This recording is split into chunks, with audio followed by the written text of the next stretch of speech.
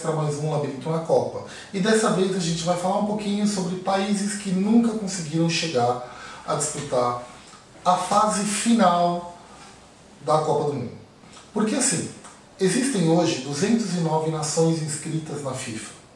Acontece que apenas 79 delas conseguiram chegar na fase final, que é aquele mundial que a gente conhece, que hoje tem 32 equipes. Tá?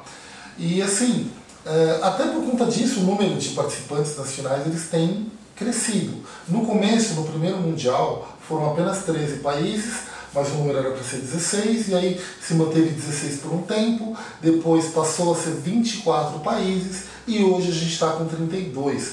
Uma tentativa de realmente aumentar a representatividade de todos os continentes disputando o torneio, ter maior quantidade de países participando, certo?